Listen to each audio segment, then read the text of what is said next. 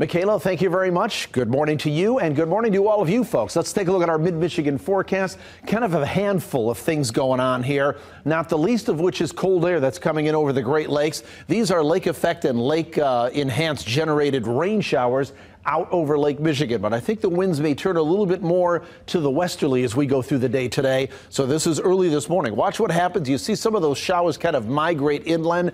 It's not impossible that we pick up across central and southern lower Michigan and few spotty to scattered showers. Uh, they're going to be very hit and miss. Most of us won't see that, but the chances there. That goes into the evening hours. So you could catch a little bit of patchy drizzle or some mist or maybe a passing shower through the early portion of those Friday night high school football games. Otherwise, we go through the overnight hours.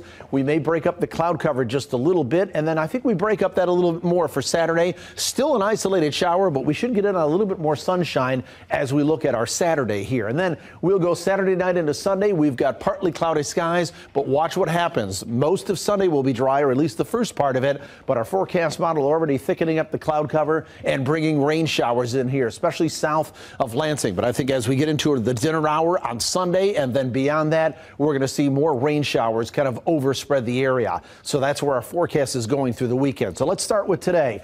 Maybe a little bit of sunshine early to mid morning. Consider that bonus because I think we're going to cloud over fairly quickly. I can't rule out a few spotty showers through the afternoon and early evening hours. Highs are going to struggle to get up to about 50, 52 degrees. So it's going to be chilly out there. We're down about 40 degrees tonight for tomorrow on our Saturday. Partly cloudy to partly sunny skies. Maybe an isolated shower, but most of us miss out on that. Temperatures around 54. On Sunday, we start dry. Might even see some sunshine, but PM showers are going to develop by the afternoon or at least through the later afternoon and the evening hours. Temperatures around 51 degrees. And then by the time we get into Monday, those showers go right on into Monday. There may be some heavy rain in there as well, or at least steady rain. Uh, partly cloudy, a dry day on Tuesday. And then there's at least more shower chances as we get into Wednesday and Thursday with temperatures in the upper 50s. That sounds like a lot of rain, and potentially that may be the case here. We'll monitor the situation, but that's where it looks like we're going for central and southern lower Michigan, mid Michigan here over the next several days as we essentially